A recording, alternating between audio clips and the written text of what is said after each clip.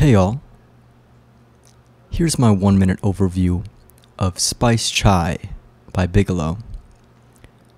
Compared to my last review, Chai by Twinings, I felt that this tea was a fair amount better.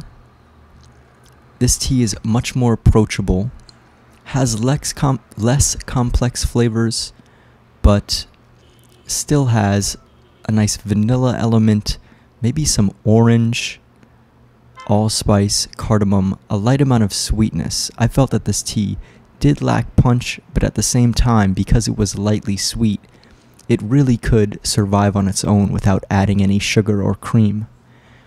So, overall, impressed by this kind of holiday tasting tea, and I gave this tea a 7.7 overall. Cheers.